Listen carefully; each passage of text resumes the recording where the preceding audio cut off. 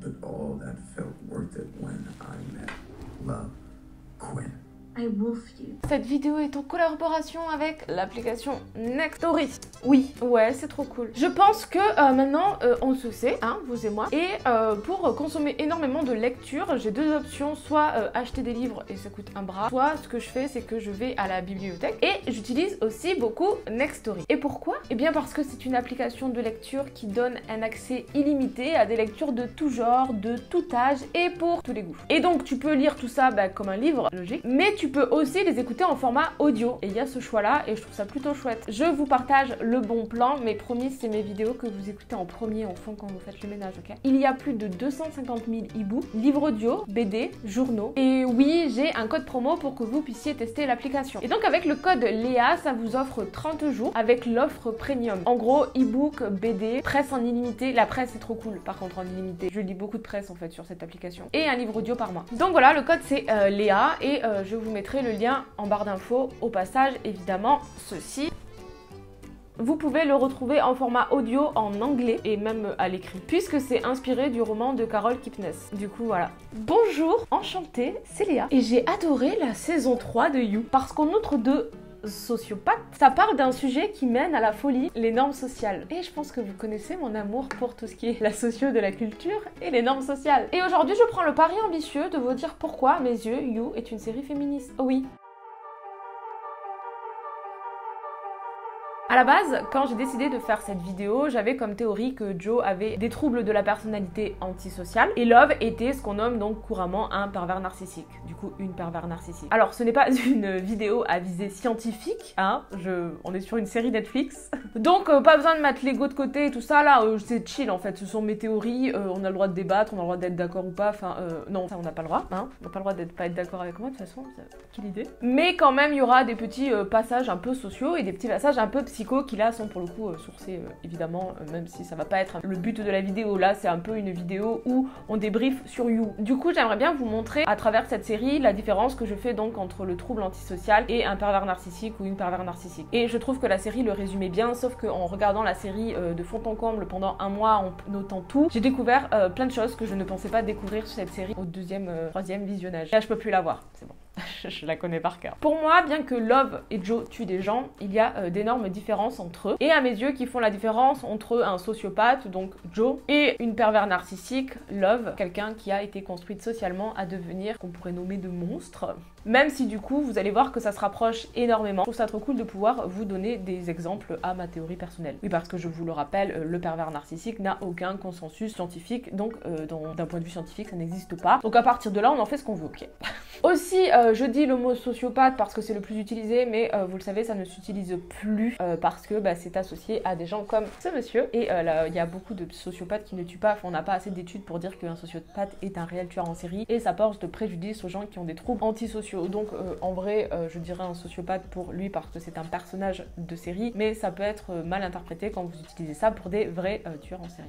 Et évidemment, je vais aussi parler des autres personnages, notamment de Sherry et de Dottie, qui sont des personnages pépites et qui sont euh, bah, en accord avec le thème de ma vidéo. Je ne vais pas rentrer en détail sur le fait que ça euh, romantise la toxicité. J'ai trouvé ça très parlant dans la saison 1 et la saison 2. Néanmoins, la saison 3, je trouve que c'est tout l'inverse. Parce que je trouve que cette saison 3 est une réelle satire de notre société et de ce fameux éduqué à l'amour toxique dont je vous ai déjà parlé plusieurs fois en vidéo. Et ce que j'aime dans cette série et ce que d'autres n'aiment pas, c'est de pouvoir voir les personnages sous le côté gentil et méchant. On a tendance vraiment dans séries à être soit le gentil, soit les méchants. Et là, c'est genre, t'as un personnage ambivalent qui est à la fois un gros connard, mais à la fois il est hyper attachant. Et euh, c'est ce qui se passe dans la vie de tous les jours. Personne n'est juste un méchant ou un gentil. On est tous euh, soit un gros connard, soit hyper attachant. Et ça dépend des personnes avec qui on est. Néanmoins, je répète quelque chose parce que ça, il y a beaucoup de gens qui ont du mal à l'intérioriser, mais ce n'est pas parce qu'on comprend qu'on excuse des comportements. Moi, par exemple, il y a plein de comportements de gens que je comprends. Pourtant, c'est des gens à qui je ne parle plus parce que je les déteste. Je comprends hein, pourquoi ils font ça. Néanmoins, ils le font loin de moi, tu vois. Ce n'est pas parce qu'on comprend qu'on excuse, qu'on pardonne ou on banalise un acte. Mais pour moi, je suis euh, pour de ne jamais pardonner à personne. Et je trouve ça hyper toxique en plus de dire il faut pardonner à tout le monde. Ouais, je trouve que je suis très logique, ok? On peut comprendre les gens, mais on n'est pas obligé de les pardonner. C'est tout. Évidemment, spoiler,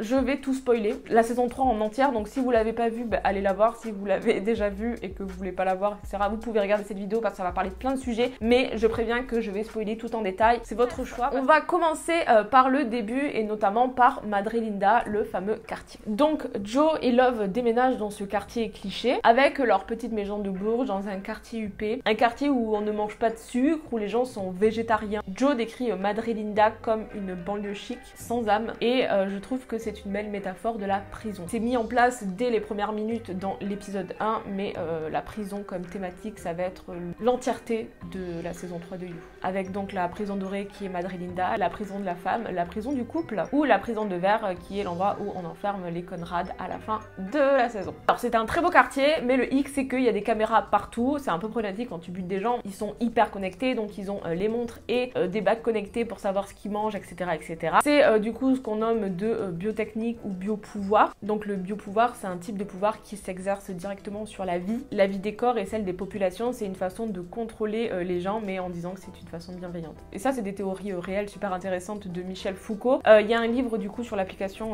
Nextory de lui, La consommation gouvernée et séduire, qui parle de tout ça plus en détail et vraiment c'est hyper intéressant pour comprendre nos façons de consommer aujourd'hui. Parce qu'aujourd'hui notre consommation a énormément changé et on consomme plus comme avant énormément de linge, de vêtements, etc. Même si ça en fait partie. La consommation qui a le plus augmenté, c'est celle qui est censée améliorer notre personne. Il faut aussi évidemment le gène intermittent. Il y a toujours du coup cette thématique de devenir la meilleure version de toi-même. Aussi Joe parle donc de la glorification de la productivité et on retrouve même le, un TEDx euh, à l'anniversaire des gamins alors qu'ils sont hyper petits ou c'est un anniversaire sur le thème de la science et je trouve ça vraiment euh, pépite parce que vraiment pour moi les TEDx c'est euh, ça arrive très souvent que les TEDx, ça soit beaucoup de développement personnel, de vent, de gens qui racontent toujours les mêmes histoires, de ouais, moi j'ai réussi, je suis partie de rien, enfin bref, tous ces trucs-là. Alors je parle vraiment du TEDx, hein, pas du TED, qui sont deux choses différentes. C'est un peu toujours cet esprit du you can do it. Donc en gros, Love et Joe déménagent dans ce quartier pour apporter ce que logiquement la société leur vend de meilleur. Donc ils essayent de trouver donc le meilleur pour leur fils Henri. Et aussi, il y a tout un désir de s'élever socialement à travers ce quartier, qui est donc le quartier le plus sûr de Californie. On a Théo à la saison 2 qui dit euh, à Love Ah, ils t'ont pas encore euh, converti à l'Athleisure. Et euh, il décrit les femmes de Madre-Linda comme une secte de femmes sans âme, boulimiques et accro-yoga. Genre, ils sont tous beaux, tous bien habillés, ils se donnent tous bonne image devant tout le monde, sportifs, et c'est quelque chose qui est hyper complexant pour tout le monde et surtout bah, pour Love. Et Joe, lui, quand il parle de son couple, donc son couple qui sont donc des tueurs en série, hein, même si on en parlera plus en détail après, il dit Regardez par la fenêtre et vous verrez une famille typique dans une banlieue chic et banale. Et c'est aussi une thématique qu'on va retrouver tout au long de la série à travers le fait qu'on peut tout cacher quand on suit des normes sociales. Et que souvent, ces gens qui ont l'air parfaits, gentils, etc. d'un extérieur, c'est souvent les pires personnes. Et même précisément Joe, je fais semblant d'être jaloux pour être ce mari parfait. Et quand il joue le rôle du petit ami parfait du mari que Love attend, et eh bien c'est là où il magouille et qui fait le plus de choses dans son dos. Donc le cadre de toute la série est posé juste avec cet épisode 1 qui porte très bien son nom puisque le titre étant Ils vécurent heureux pour toujours. Parce que clairement, au fond, toutes les personnes qui vivent donc à Madre-Linda se battent pour être heureux et pour trouver le secret du bonheur, pour cette quête là la joie. Évidemment, comme je suis une meuf qui est mille boîtes dans ma tête, je me suis dit que ça pouvait être intéressant que je vous fasse des schémas tout au long de cette vidéo. Du coup, euh, premier schéma, nous avons donc Love et Joe. Puis ils ont chacun leur ami. Du côté de Love, on retrouve tous les gens qui sont très focus, qui font tout bien, qui respectent très bien les normes sociales, qui sont en vrai des clichés. Par exemple, Chérie euh, est euh, typiquement l'influenceuse lifestyle de référence,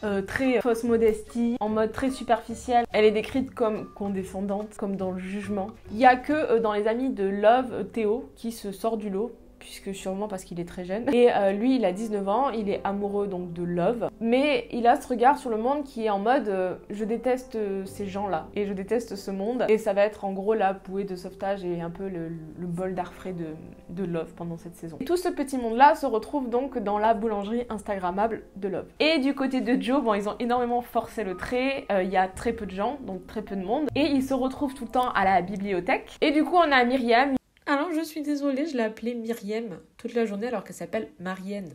Voilà une femme noire avec les cheveux courts qui est déconstruite et euh, Dante, euh, une personne non-voyante. Plein de fois, ils vont se moquer euh, des normes sociales de tout ce groupe-là et notamment de Joe quand il vient bien coiffé, etc. suite à ses photos de couple parfaite qu'il fait pour l'anniversaire de son fils. Elle va parler donc du white privilege quand elle parle de son ex-mari. Elle va parler beaucoup de féminisme et aussi du privilège de la femme blanche, le fait que quand une femme blanche disparaît, c'est beaucoup plus important que quand c'est une femme noire et ainsi de suite. Et donc du coup, d'abord, je vais présenter les deux personnages principaux, leur point points communs et ensuite l'évolution de leur couple. Donc nous avons Joe, le personnage principal, et euh, pendant toute la série, on entend sa petite voix dans la tête. Est-ce que vous aussi, vous avez une petite voix dans la tête? Est-ce que vous vous parlez réellement ou est-ce que vous n'avez pas votre petite voix comme Joe dans la tête? Joe euh, vient d'une famille pauvre, il a vu sa mère se faire battre par son père, il a tué son père et euh, suite à ça, sa mère l'a mis dans un orphelinat. Pendant toute son enfance, Joe vit avec l'espoir que sa mère viendra un jour le chercher. Il est timide, discret, frêle et il se fait bully par les autres garçons. Son seul copain, c'est un petit garçon qui est euh, gros et qui se fait aussi bully par les autres. Donc il passe la majeure partie de son temps caché dans des placards. Ce qui explique qu'il n'est pas du tout à l'aise avec les hommes, notamment ben, lors de la chasse qu'il va faire avec Carrie, euh, qui est un épisode euh, assez mémorable. Pendant toute la saison 3, il va avoir des flashbacks. Un moment, on attend un gamin lui dire C'est de ta faute si ta mère t'a abandonné. Néanmoins, dans l'épisode 3, donc qui s'appelle euh, Syndrome de la femme blanche disparue. Quand Joe attrape la rougeole, il commence à avoir des hallucinations et on voit un deuxième lui. Et à mes yeux, ce deuxième lui, c'est le lui rationnel, donc c'est sa part d'ombre. Et donc il y a euh, le Joe qui idéalise sa mère où euh, on l'entend se dire tu as fait ça pour me protéger, tu es un brave garçon et t'as sa part d'ombre qui lui dit mais n'importe quoi. C'était une mauvaise mère, égoïste et folle, elle nous a négligés. Donc il y a un côté de lui qui déteste sa mère et un côté qui idéalise de ouf sa mère. Il a aussi énormément des trous dans son enfance. D'un point de vue euh, psychologique, euh, des trous dans l'enfance c'est jamais très bon signe. Surtout quand t'es un enfant comme euh, Joe, qui euh, sont souvent associés à des gros traumas. À la plupart du temps, ton cerveau, quand il fait ça, c'est pour te faire survivre, pour te protéger de ce genre de choses qui pourraient être trop dures à encaisser. Donc c'est une personne solitaire qui a peu d'amis et qui aime pas forcément beaucoup les gens. Vu que tout le monde euh, parle de Joey en tant que sociopathe, on retrouve quand même énormément de points communs chez Joe et cette personnalité qu'on nomme de antisocial. Donc d'après le DSM-5, qui est donc la bible du, des psychiatres, déjà on retrouve traumatisme et maltraitance dans le fait qu'il soit associé à un niveau social, économique et environnemental défavorisé, le comportement de type asocial, le fait qu'il s'entoure de très peu de gens, peut répondre à une stratégie pour protéger et survivre. Et protéger et survivre dans les saisons d'avant, c'est vraiment euh, lubie. Et le fait aussi que ça soit un homme, puisque la personnalité antisociale touche plutôt les hommes. Donc, dans le DSM-5, on retrouve incapacité de se conformer aux normes sociales qui déterminent les comportements légaux. Pendant toute la saison 3, il va se forcer à suivre les normes, à respecter ses normes c'est lui qui va le verbaliser énormément en fait parce que Love s'en rend pas compte. Et euh, notamment euh, la pelouse, il va avoir tout un truc en mode il faut que je fasse la pelouse, il faut que je sois le père parfait, il faut que je fasse ça pour mon couple, etc. etc. Mais tu sens qu'il se, force de ouf. À un moment, il vole un livre et il dit euh, parfois tu sais qu'une règle existe mais tu sais qu'elle s'applique pas à toi. Ensuite, irritabilité et agressivité, même si dans cette saison c'est pas forcément ce qu'on a le plus retrouvé on n'a pas besoin d'en débattre. Mépris inconsidéré pour sa sécurité ou celle d'autrui, bon ça on le voit beaucoup de fois, mais il y a un passage qui est assez culotté, c'est quand euh, il rentre le t-shirt rempli de sang euh, de Ryan et qui dit euh, oh là là, dire qu'Henri va rester avec sa mère alors qu'elle, elle, saura jamais s'en occuper, elle est trop dangereuse pour lui. Et évidemment le plus flagrant chez Joe, c'est cette absence de remords, indiqué par le fait d'être indifférent, de se justifier après avoir blessé, maltraité ou volé autrui. Donc le livre par exemple, le fait qu'il qualifie de Ryan de sociopathe, que pour le coup, je le mettrais plus dans la catégorie des PN, comme euh, Love. Et quand il le tue, il dit Je ne me sens pas coupable. Ce n'est pas comme Love, qui elle est folle et impulsive. Ou même quand il tue Love elle-même à la fin, il dit que c'est pour la sécurité de Henry. Et à un moment, même Love lui dit Tu joues les nobles et purs chevaliers,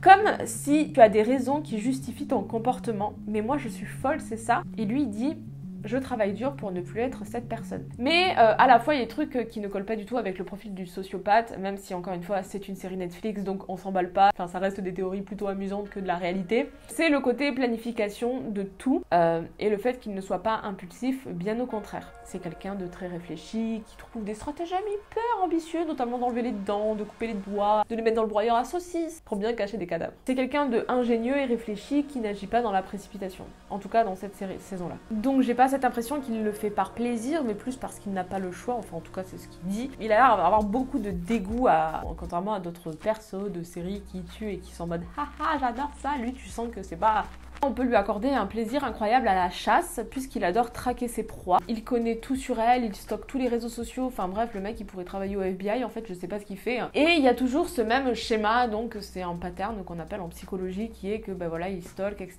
Et ensuite il prend euh, des petits souvenirs qu'il met dans sa boîte en mode petit butin de chasse. Quand bah, du coup ce n'est pas des dents, etc. Puisque ça c'est dans les saisons d'avant. Mais par exemple, Kiki, euh, il connaît tout sur elle alors qu'il a pas vocation de la tuer, mais il connaît vraiment tout sur tout le monde. Néanmoins, ce qu'on retrouve le plus chez lui et ce qui a valu de nombreux mèmes, c'est ce que l'on nomme les idées délirantes d'érotomanie. Donc c'est cette impression que tout le monde est amoureux de lui ou que tout le monde le drague en gros, notamment le fameux euh, tu flirtes avec moi, ou même quand il est sous le lit de Myriam, elle sait pas qu'il est là, il est en train de se déshabiller, il dit j'en suis sûr que tu joues avec moi alors que bon, et donc, globalement, une personnalité antisociale manque d'empathie, tendent à être immorale, cynique, et ils peuvent aussi avoir une opinion orgueilleuse et arrogante. Dans la saison 3, j'ai trouvé juste un petit passage où, par exemple, Nathalie dit que c'est le voisin ennuyeux, il est en mode bah, heureusement que t'es morte en fait, douche le voisin ennuyeux, et après il dit non, quand même, elle méritait pas ça. La grande question c'est est-ce que Joe évolue pendant cette saison 3 Eh bien oui, et notamment grâce à la psy, à Myriam, à Dante, et notamment à son fils Henri. Je trouve que dans cette saison, il va énormément changer, de l'épisode 1 à l'épisode 10, mais je sais pas, ce qu'il y a une saison 4, et si on verra encore ce changement dans la saison 4. Et en fait, on sait que c'est pour Henri que Joe essaye corps et âme de combattre cette part d'ombre. Il va donc essayer, encore une fois, comme j'ai déjà dit, de rentrer dans les normes. Pour Henri, en mode nous avons tout, il a tout, nous sommes donc la famille parfaite. Et en fait, il veut juste ne pas répéter ce qu'il a déjà vécu lui en tant qu'enfant et le faire revivre à son fils. Et surtout que c'est un mec, enfin ça va être un petit peu le débat à la saison 1 parce qu'il pensait que c'était une fille, mais comme c'est un garçon, il va énormément projeter sur son fils. Et ce qui par la même occasion va générer énormément de culpabilité en lui car euh, il n'y arrive pas et que c'est pas un bon père. Donc ce qu'il va faire, c'est qu'il va essayer de conscientiser plus plus plus, de rationaliser plus plus plus, de se dire ça c'est bien, ça c'est pas bien, ça c'est pas bien parce que, ça c'est bien parce que, et essayer de comprendre pourquoi il fait ça et pas juste tout justifier comme il le faisait avant de façon hyper simple. Il fait que répéter donc qu'il est papa, qu'il est un mari et qu'il est le problème et ainsi de suite. Donc euh, il arrive à comprendre ses erreurs et il ne tue que deux personnes dans cette saison et je trouve que c'est quand même incroyable parce que c'est pas ce qu'il fait dans les saisons d'avant et c'est important de le souligner. J'ai l'impression qu'il accepte aussi plus qu'il est et qu'il se rend compte de qui il est. À savoir que du coup, sa colère est guidée donc par la peur. La peur que si quelqu'un le voit comme il l'est, son vrai moi, et eh bien la personne le quitte et l'abandonne. Donc évidemment, il passe son temps à mentir à tout le monde pour être bien vu. Mais ça, j'ai l'impression, désolé, petit pic pour les hommes, euh, j'ai l'impression c'est typiquement masculin. Genre, ils disent pas les choses clairement. Genre, en mode oui, j'aime pas trop cette personne, mais j'ose pas lui dire parce que tu vois. Et donc, il manipule aussi énormément les gens. Et en fait, entre ce que sa petite voix a dit et ce qu'il fait, on voit qu'il ment énormément, même à lui-même au final. Euh, pour en revenir du coup à la partie de chasse, qui est un passage très important dans cette saison 3. Au début, il est entouré de tous ces hommes pleins de testostérone. Euh, Carrie, c'est vraiment un cliché, euh, vraiment. Je pense que Carrie, c'est un de mes personnages favoris, mais je trouve qu'il est pépite, il s'en fout de tout, il a ses trucs et tout. Enfin bref, il est dans son délire, mais il y est jusqu'au bout et il assume tout, il s'en fout du jugement des gens. Et donc Joe est là, entouré de tous ces hommes, il est mal à l'aise, avec son petit truc autour du cou, il est en mode oh là là et tout, qu'est-ce que je fais là? Et au final, ils vont partir chasser et puis Carrie, il est en mode ah, tu trouves que je suis pas un mec bien, donc viens, on va se foutre sur la gueule. Et là, il décide de foutre sur la gueule et euh, Joe le pousse en haut de la montagne, donc Harry s'éclate en bas. Et là, euh, Joe panique, il l'attrape, il le remonte et euh, il lui sauve la vie. Et en fait, Joe, il est paniqué, il est en mode, il va le dire à tout le monde, il va dire à tout le monde qui je suis, mon vrai moi, que je suis un monstre et tout. Et finalement, Carrie l'applaudit de tout son être et dit que c'est un vrai monstre et qu'il l'aime et que voilà. Et là, euh, Joe m'a pleuré. Et il dit euh, Ils ont vu le vrai moi et ils m'acceptent. C'est donc ça des amis. Et suite à cette euh, partie de chasse, Joe va être très différent avec tout le monde. Parce que, en fait, j'ai l'impression que ça lui enlève un poids et que bah, il est plus en accord avec qui il est. Et il décide donc d'être plus lui-même et d'arrêter de se forcer à forcément correspondre à des standards. Et puis, du coup, il va continuer à traquer des gens, mais mettre des règles pour laisser sortir la bête, mais pas trop. Et à partir de là, il va totalement arrêter de culpabiliser. Donc, quand il va tomber amoureux de Myriam, il va décider de plus faire comme avant, mais en faisant comme avant. C'est-à-dire qu'il est d'accord qu'il a ce schéma, qu'il ne peut pas lutter et que plus il lutte, ben, ben, ça marche pas. Mais il va donc décider de le réguler. À un moment, il va chez elle, il va réparer son évier, il dit non, non, ça je peux pas le faire. Donc, il remet l'évier comme avant, il repose tout ce qu'il avait volé, etc., etc. Et il essaye de pas reproduire les erreurs du passé. Puis en plus, elle lui rappelle tout le temps que elle, euh, ben, elle ne veut pas de chevalier. Elle, c'est vraiment l'anti-héroïne. En gros, c'est l'anti-princesse. Elle est donc euh, hors norme et donc il dit pas de souvenirs, pas de réseaux sociaux, juste de l'observation et ça sera différent cette fois. Quand il va avoir une dispute avec elle, euh, il va se rendre compte du coup euh, du lien qu'il fait entre toutes les femmes et ce schéma qu'il répète et pourquoi il le répète, notamment donc avec sa mère ou même l'infirmière Fiona qui est quand même un personnage assez important dans cette saison 3. À ce moment-là, euh, Joe comprend qu'il a ce qu'il nomme donc le syndrome de Deep et comme il a essayé de sauver sa mère et qu'elle l'a abandonné, ben, il a toujours peur d'être abandonné en retour, ce qui a causé de gros traumatismes. Pour la première fois de toutes les saisons réunis, il me semble, euh, il va dire à Myriam ce qu'il n'a jamais dit à personne, notamment par rapport à son passé, à sa vie, au fait qu'il a tué son père. Et euh, il le fait sans avoir peur d'être jugé, même s'il sait très bien que tant qu'il est amoureux de Myriam, elle sera en danger. Mais bon, voilà quoi. Note pour ce semestre à Monsieur Joe, des progrès, continuez ainsi. Je m'excuse, mais en gros, euh, la lumière, l'éclairage et tout, c'est pas ça, c'est pas très bonne qualité aujourd'hui, mais j'ai pas mon super technicien en fait. Du coup, passons à notre queen. On n'a pas beaucoup de ses pensées, euh, sauf quand elle écrit du coup à son frère décédé. Donc Love, elle, elle vient d'une famille riche. Sa mère, Dottie, est donc une mère toxique, qui est un énorme cliché aussi. Euh, donc elle suit toutes les normes sociales, c'est une femme belle, mince, qui est euh, accro chaman, astrologie, qui est matrixée plus plus, qui suit tout ça, toutes les modes, etc. On va en parler plus en détail parce que à un moment, elle va lui dire à, donc à Love, j'étais comme toi quand j'avais 20 ans et j'en suis persuadée parce que Love est en train de totalement suivre le chemin de sa mère. Voir un énorme changement chez Love au fil des épisodes, mais euh, je vous en parlerai quand j'en parlerai du couple en général, puisque son personnage féminin ne vit qu'à travers Joe. Je ne sais pas si c'est réellement une satire sociale, et notamment du couple hétérosexuel, ou juste une vision très premier degré, ça se veut pas être une satire, mais néanmoins ça en devient une, puisque tout est très cliché, et à la fois tout le cliché est en même temps démonté et risible, et c'est ce que j'aime bien dans cette série. Donc elle a vraiment euh, ce package, donc, donc son petit sac à dos, tout ce qui est lié au genre Problème de confiance en elle, elle a de l'anxiété, elle est mal dans sa peau, elle remet tout le temps en cause son rôle de maman, bon comme Joe par la même occasion, et elle dit euh, personne ne me comprend, elle joue vraiment ce rôle de l'éternelle victime qui la rend plein de fois insupportable, et c'est ça qui me trouve dans plein de séries trop chiant parce qu'on donne ce rôle de la femme victime euh, hyper insupportable sans le remettre en question, et là je trouve que ça a été remis en question. Le fait qu'elle veut être un bon exemple, elle a besoin donc d'attention tout le temps, et c'est aussi ce qu'on retrouve donc chez sa mère Dottie. Bon, après, elle a pas fait un bébé dans les meilleures conditions non plus. Hein. Néanmoins, euh, si elle fait tout ça, c'est parce qu'elle a ce besoin de protéger euh, sa famille qu'elle aime, et c'est marrant parce qu'à un moment, la psy lui dit euh, Mais pourquoi vous faites ça en fait? Elle, elle est en mode je sais pas, c'est parce que c'est mon rôle et une famille est censée aussi vous aimer en retour. Et du coup, donc, elle fait ce truc de je donne, je donne, je donne en espérant avoir tout ça en retour un jour. Et ça ne marche pas très bien, madame. Et il y a beaucoup de femmes qui font cette erreur-là aussi. Maintenant, parlons du couple Joe et Love. Enfin, Joe vs Love, puisque c'est un réel combat de titans. Déjà, euh, pourquoi ce couple?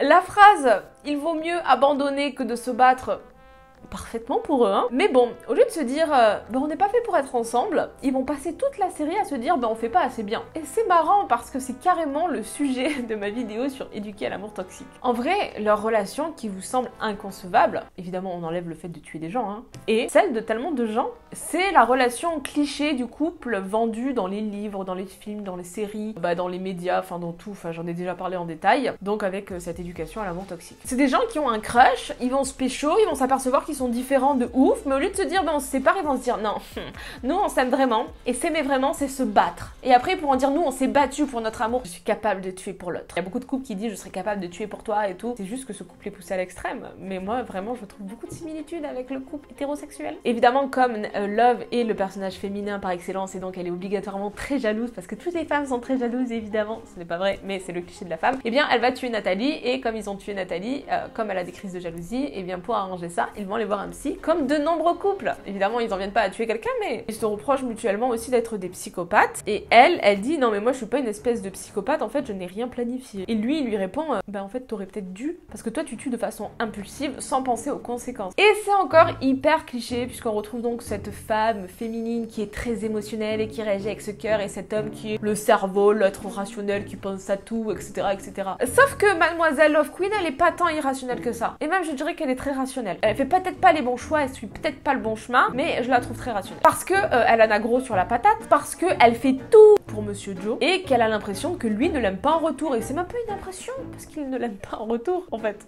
Donc du coup, c'est rationnel de ouf ces réactions. Pendant cette saison, elle va avoir une amourette avec Théo et même lui, elle va le buter, le buter pour euh, sauver son couple avec Joe. Et donc, jusqu'à l'épisode 10, jusqu'à la fin de la saison, elle, elle va avoir l'ambition de sauver son couple, contrairement à Joe qui a abandonné à partir de l'épisode 5. Il lui a même dit clairement je ne commettrai jamais un meurtre pour toi, mais par contre, ça l'a pas dérangé de commettre un meurtre pour Myriam. C'est aussi pour ça que je dis que elle, euh, elle est pervers narcissique et non sociopathe comme Joe. Et c'est la diff que je fais entre les deux choses, entre le sociopathe et donc le trouble antisocial et euh, un pervers narcissique qui pour moi n'est pas forcément une maladie mentale mais une construction sociale. C'est le fait d'en avoir conscience ou non, de réussir ou non à rentrer dans ce moule. Joe, lui, il est cassé, il peut pas rentrer dans le moule même quand il y rentre, c'est compliqué, on voit bien que c'est même impossible et c'est assez rationnel globalement. Elle, en vrai, si elle arrêtait le développement personnel, de se conformer aux normes d'une société capitaliste, qu'elle écoutait sa petite voix intérieure, elle pourrait s'en sortir très bien, elle pourrait avoir une vie normale et pas tuer des gens en fait. Elle pourrait clairement, si elle arrivait à se déconstruire, ne plus être une personne toxique. Parce que pour moi, ce qui la rend toxique, c'est la société plus qu'elle-même. C'est l'éducation qu'elle a reçue de sa mère, c'est toute la pression qu'elle a autour. Elle agit typiquement comme on attend qu'une femme agisse et ça la fait péter un plomb. Que les femmes sont hystériques. Et elle, on lui repose pendant toute la saison d'être tout le temps en crise, tout le temps impulsif. Même peut-être vous, vous avez trouvé le personnage Love Queen insupportable. Parce qu'en fait, on est éduqué à détester les femmes et à détester ce côté des femmes sans essayer de comprendre. Et du coup, ça la rend détestable et ça rend souvent les personnages féminins détestables. C'est ce côté-là qui est que toutes les femmes sont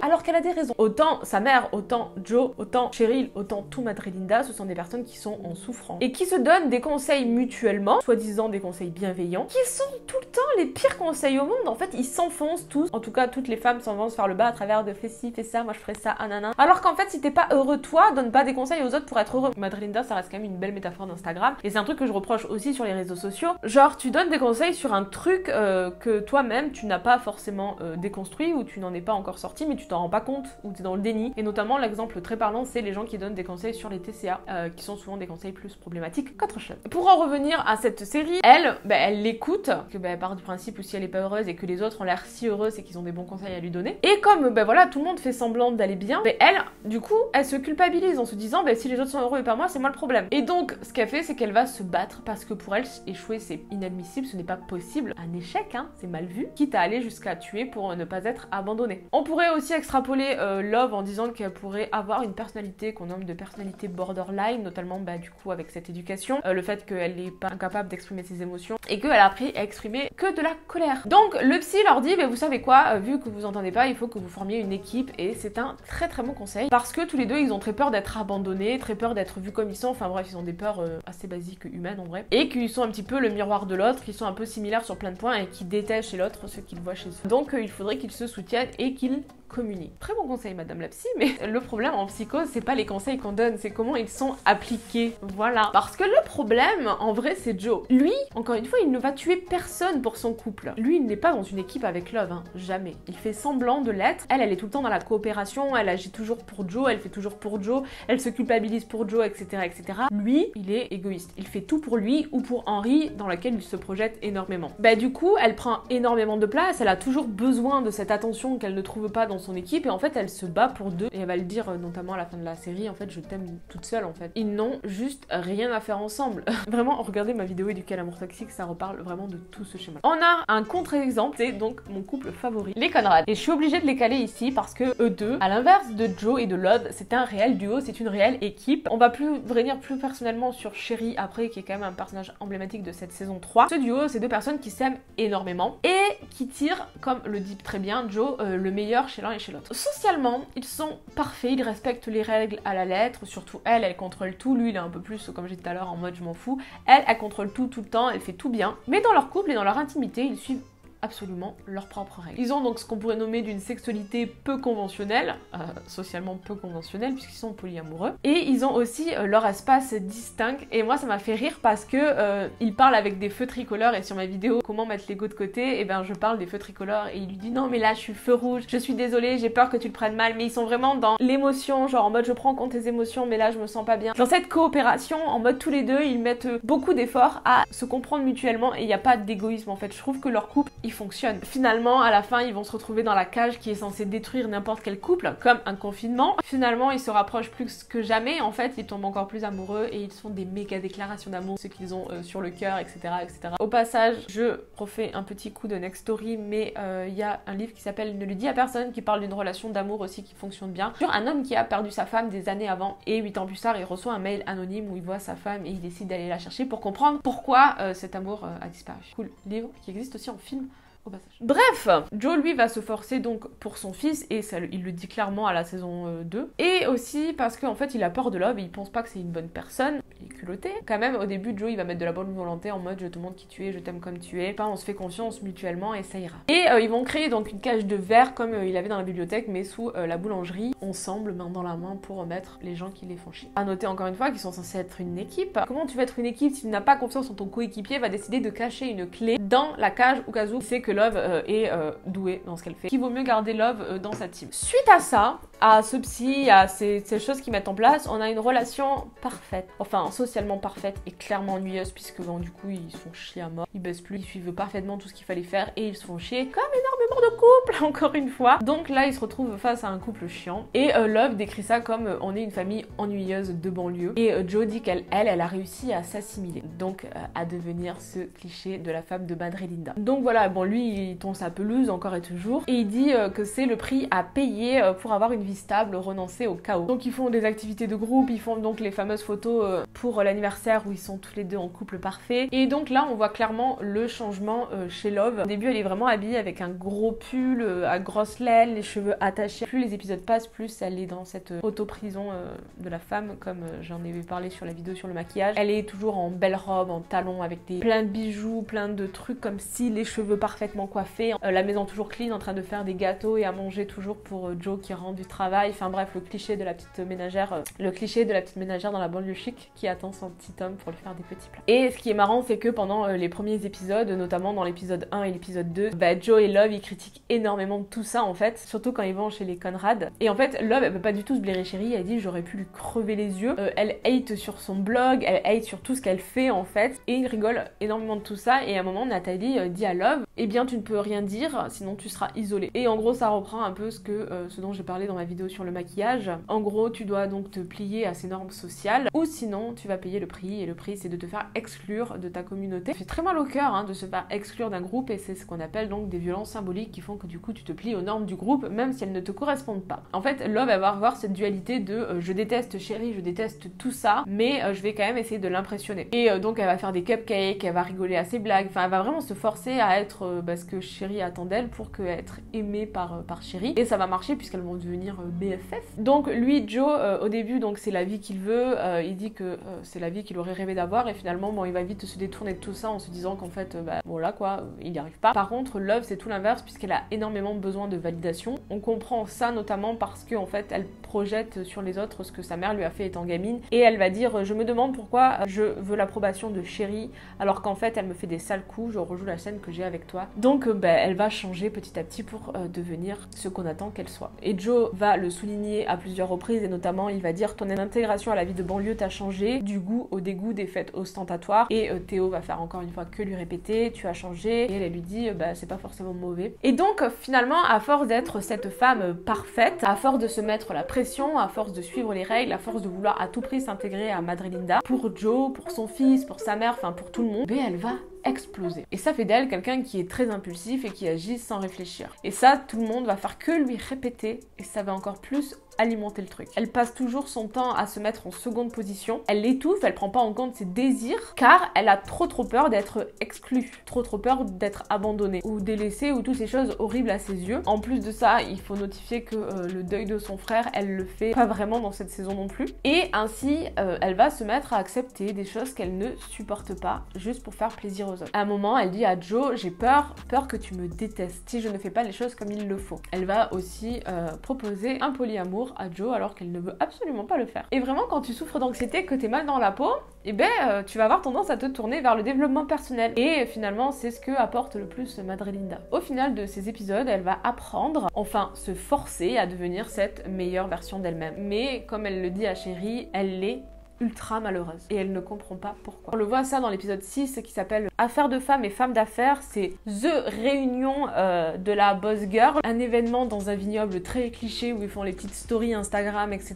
etc. La métaphore de tout ce qu'on nomme de libéralisme avec même l'alcool mondain. Euh, donc à cet événement sur le vin, euh, le boire du vin quand t'es une femme c'est considéré comme cool. Sachant que Dottie est alcoolique, j'ai trouvé cette référence assez chouette puisque on parle pas beaucoup des problèmes de l'alcool mondain et dans toutes les séries il énormément l'alcool et là je trouve que c'est assez moqué en fait finalement cette glamourisation de l'alcool. C'est aussi un des trucs qui me fait penser que cette série est quand même une satire de notre société. Dottie étant une femme qui donne toujours des conseils bienveillants, elle donne toujours des conseils horribles à sa fille, notamment elle lui dit ah t'es pâle, va te maquiller, fais quelque chose, alors que sa fille est au bout du rouleau, mais bon tant pis. Elle lui fait euh, tout au long de la série vivre des violences symboliques. La violence symbolique c'est horrible dans le sens où c'est des choses qui sont banales, sous-entendues et qui sont jamais frontales et du coup tu sais jamais si c'est une bonne chose ou une mauvaise chose, mais c'est jamais une bonne chose parce que ça te fait trop mal. Ça te bouffe le ventre, mais t'es incapable de mettre des mots dessus et c'est une pire violence, vraiment. Ma mère lui dit Oh là là, mais Love, tu as beaucoup de colère en toi. Hein. Genre vraiment, Love, pendant toute la saison, elle est pressée comme un citron. Et donc, à un moment, dans ce fameux week-end, il y a euh, un moment un peu fun où euh, il y a une femme qui a fait un livre euh, de développement personnel. Et en mode, elle dit, j'ai trouvé la clé du bonheur. Avec exprimer vos gratitudes. Pour devenir libre, je suis devenue une entrepreneuse. J'ai monté mon entreprise. J'ai pu le faire, alors vous aussi. Ben, Love, elle est trop en mode c'est tout. Genre, c'est bien beau, hein, mais en gros, c'est quoi en fait le secret du bonheur? Parce que vous dites euh, beaucoup de choses, mais pas grand chose. Et en mode, elle dit, moi je fais tout parfaitement, mais ça marche pas. Et la femme lui répond, bah tu n'as qu'à lire mon livre.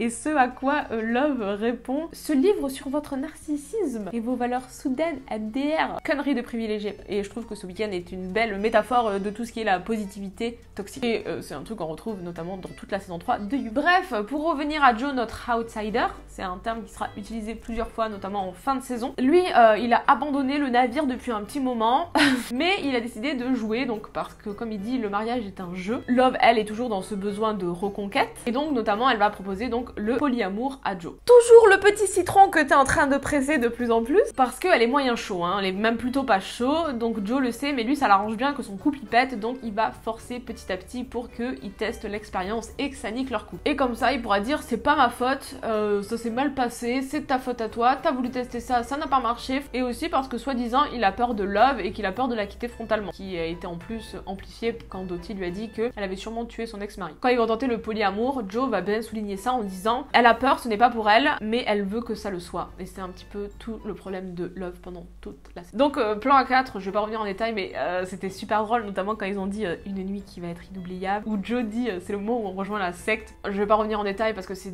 une vidéo ultra longue, mais c'est là qu'on se rend compte que ce qui allume la mèche entre Joe et euh, Love, c'est le fait qu'ils ne s'entendent pas, c'est la violence. Et quand j'entends dire que You, c'est une série qui fait le, enfin qui fait l'apologie un peu de la relation toxique, qui la romantise, je trouve ça un peu hypocrite. Parce qu'on est les premiers à dire euh, oui, le sexe après les disputes, c'est trop bien. Et que du coup, il y a beaucoup de gens qui ont besoin de se disputer pour avoir une vie sexuelle épanouie. Et que du coup, bah, c'est ça qui romantise plus les amours toxiques que euh, des séries comme You qui sont hyper clichés où tout le monde dit non mais c'est n'importe quoi. Encore une fois, You, c'est une série cliché qui est poussée à l'extrême de ce que notre société est. Donc c'est un amour toxique entre ces deux personnes. Encore une fois euh, en dehors des crimes, et tellement que même quand Love sait que son couple il est décédé, quoi, il est dead, que pour le sauver, elle dit on va faire un deuxième enfant. Et je trouve ça incroyable d'en arriver à proposer un deuxième enfant pour sauver ton couple. Mais même quand tu dois abandonner, elle n'est pas capable de voir que c'est trop. Je préfère être malheureuse que échouer et abandonner. Je me battrai corps et âme. Et finalement, euh, il y a l'affrontement final entre ces deux, euh, et c'est malheureusement dommage parce que c'est à ce moment-là que Love ose enfin dire ce qu'elle a sur le cœur. Elle dit à Joe qu'il l'a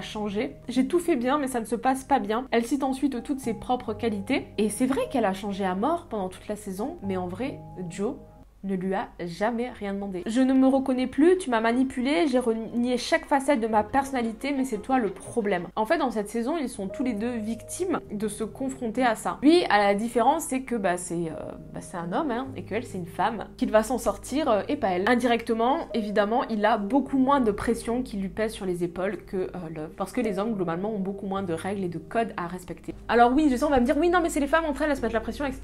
Oui, mais si elles arrivent à s'en mettre la pression, c'est qu'il y a eu quelque chose quelque part et aujourd'hui c'est un fait.